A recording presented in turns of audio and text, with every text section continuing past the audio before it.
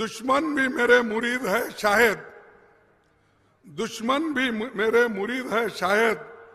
वक्त बेवक्त मेरा नाम लिया करते हैं। वक्त बेवक्त मेरा नाम लिया करते हैं। मेरे गली से गुजरते हैं छुपा के खंजर। मेरे गली से गुजरते हैं छुपा के खंजर। रुबारूब होने पर सलाम किया करते हैं। तो ये डरते हैं।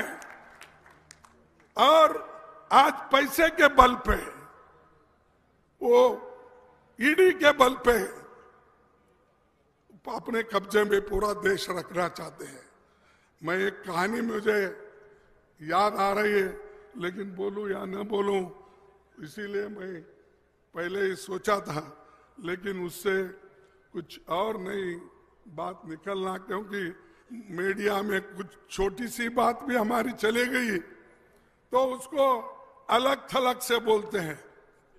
हम तो जो कहानियाँ आरएसएस और बीजेपी अपने किताबों में लिखी है, लोगों को पढ़ाती है, वही कहानियों का उदाहरण जब हम देते हैं तो हमको वो बोलते, देखिए, मोदी जी को खरगे जी ने रावण बोला, मोदी जी को फलाना बोला ये सब, वो लोग हमेशा नमस्कार, मैं हूँ मानक गुप्ता।